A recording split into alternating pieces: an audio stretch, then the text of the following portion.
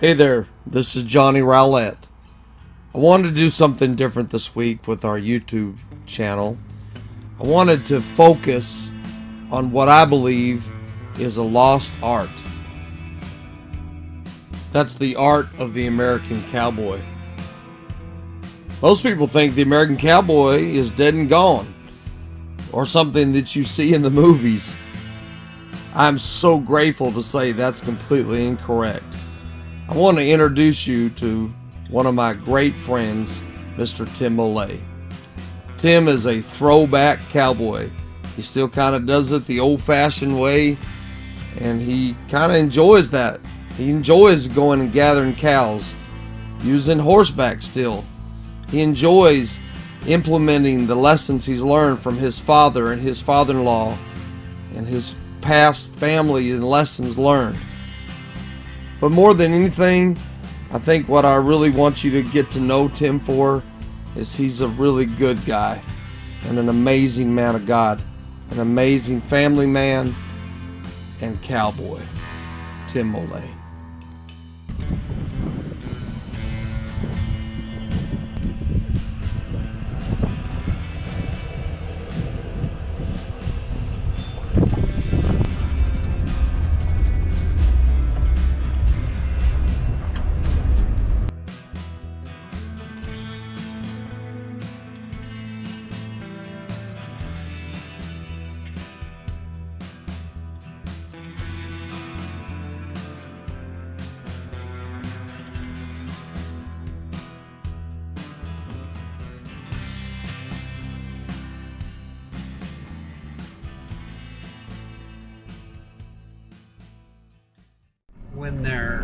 Cattle are all bunched up. Like if I come here and they're all standing here at the well, I'd be pretty nervous. I think, well, there's there's no water. There's Okay. something wrong. But when they're scattered, I mean, they got some over here. There's some over here. It takes you forever to look at them all. But when you go look at them, they're they're healthy and fine. They're just relaxed. They're at peace. Right. That's it. what you look you're looking for when you come out to look. Or there could be a coyote or a mountain lion out here, and then they're all bunched up. There's, uh, like I say, if they're they're all in a bunch. Other than here in a couple hours, hopefully they'll all come to water drink. But they usually come in, drink, and then go right back out to graze. So just certain things you look for, like "Oh, there's something wrong with this picture. But the ideal picture is what we're seeing. They're just scattered everywhere, and you don't get to see very many of them because they're just. It's not that hot. If it was 100 degrees right now, then it'd probably be bunched up just because of the heat. Yeah. And there's really nothing you can do about that because it's too hot. Right. But but you realize you're, you're not gaining weight that day. Oh wow. So if you have like uh, 30 days of really hot weather, your cows, you can just tell by this fall your cows are going to be lighter because they're just they're just too bunched up and they weren't grazing. But these these calves are just grazing most of the day. Wow. So they're gaining weight every day, and that's what that's your goal is to have them at peace and gain weight. Make sure there's no coyotes or wolves or bears that are disturbing them. Like if I went up and they're, and they're all bunched up in a corner, then Yeah. I know that's probably a wildlife that's a bear, a lion, or something that's got them spooked, and they're all huddled up. And well, they're just the fret. Not that they're eating that that you lose weight that way, but just being in fear and fret, Stress. Yeah. stress. uh, That's the worst killer for your weight loss. Plenty of water. I want to get a good shot of your brand on that cow. It's a V. I once was lost, and an open A. and Now I'm found. Oh, that's cool. This red heifer here, I might not sell her. She'd be a good one to keep for a cow. Thinking about doing that with about 10. Even if I didn't keep them, if I just raise them. The red Angus breed has really taken off. It's pretty popular if you got heifers. Yeah, about now, for the next hour and a half, there'll be cattle coming into water. They all have an ID number is registered.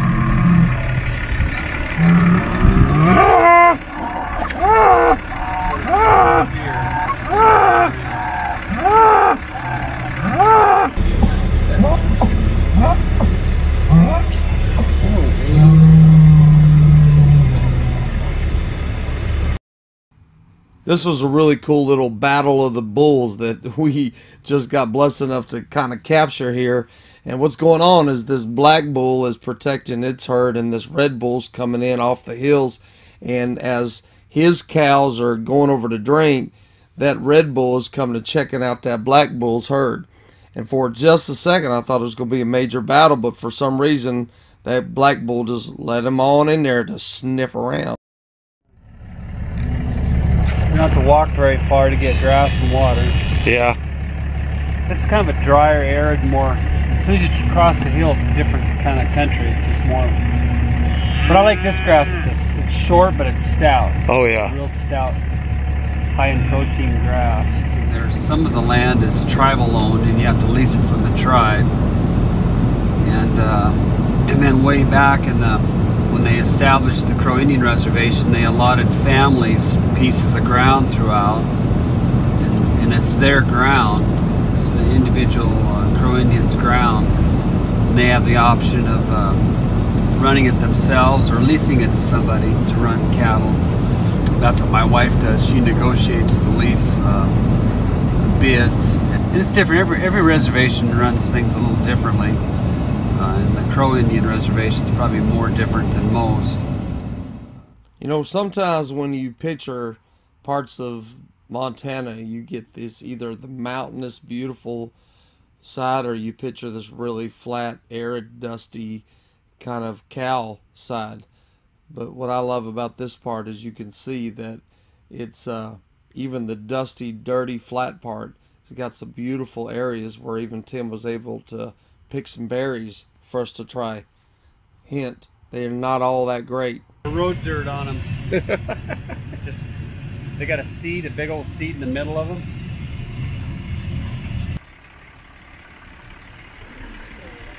Oh, is it?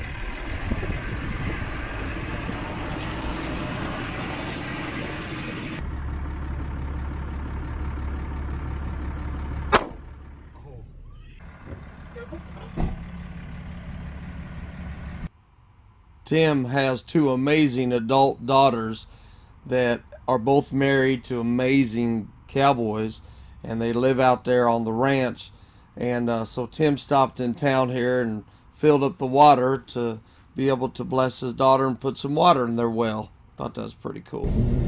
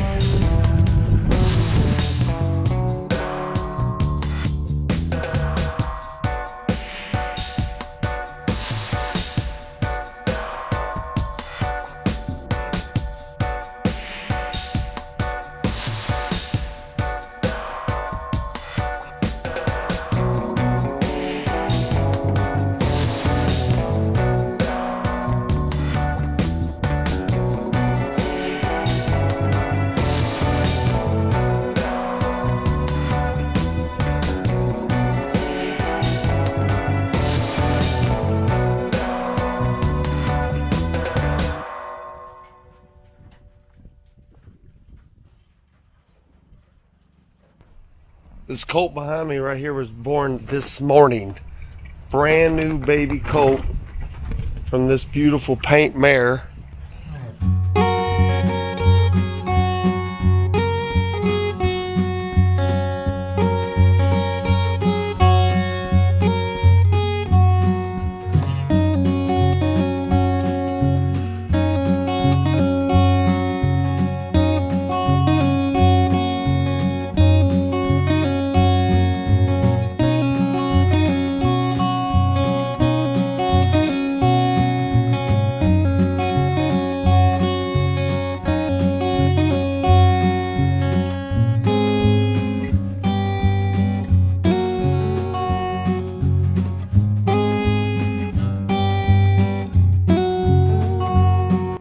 One of my favorite things about Tim is something that you would never expect from a cowboy, and that's his ability to communicate.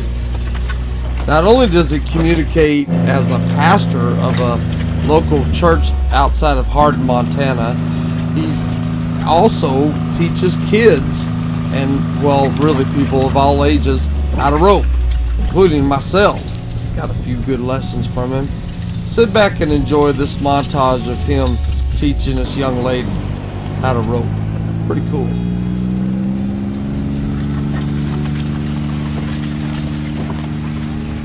Leaning kills all your power. It won't get there. You think you're helping it, but it just here you got all your power. It's like a, a ball player doesn't throw a ball like this. He's up here like this where he can throw. It's the same thing. You just got more power. Just keep it this square. Yourself leaning, just if you need to go closer to the calf, kick him up there. But it, as soon as you do this, it just takes it, it just doesn't get there.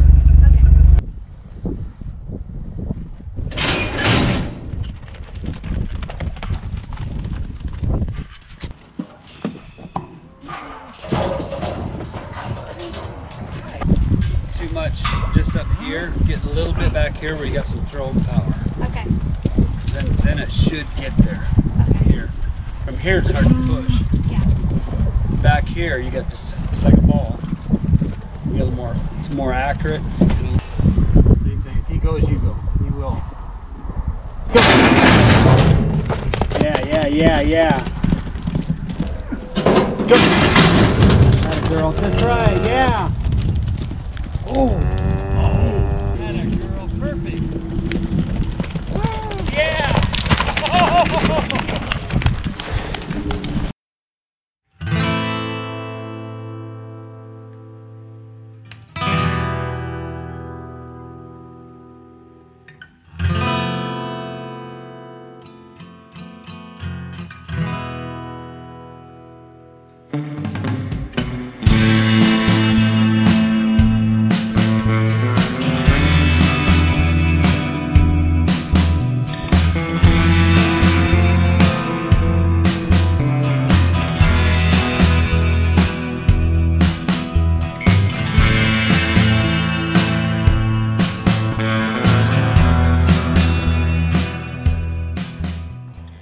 Moullet Ranch, and just got through watching Tim Moullet do a clinic for a young lady on uh, calf roping, and it was just so interesting. And he's so patient and kind and gentle with them, and uh, so we just kind of now we'll take these calves back to the kind of turn them out, and then uh, watch the sun go down.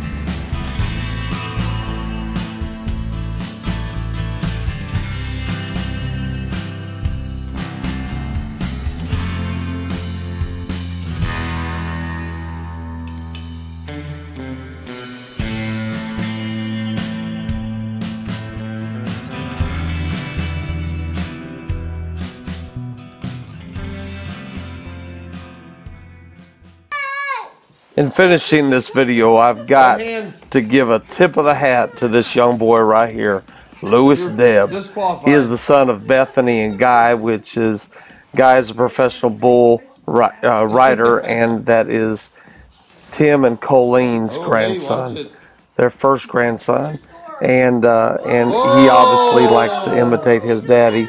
Riding the bulls, you see, he gets bucked off there and runs back into the chute for protection, just like his daddy. So, how many grandkids you got now? Three. Three. You know all their names? Uh, sometimes. So you got Jackson, Lewis Deb, Deb and Holland. Holland, Which I called her Holly. Holly. You never had any male children, so this is Yeah, got, got boys. uh, boys. Bethany and Guy have Hol- Holland, Holly, and Lewis, and their third child's going to be Yah. Hallelujah. Oh, is that right? Shut up. Better name than my brother, Guaca, Guacamole. Lewis Deb was named after Deb Copenhaver, who just recently passed away and is a Hall of Fame bronc rider for the PRCA. So just a little honor from the Moullet family and the Rowlett family. Just wanted to say thank you for watching this video and uh, thank you to Tim and Colleen and all the Moullets for allowing us into your lives. We love you.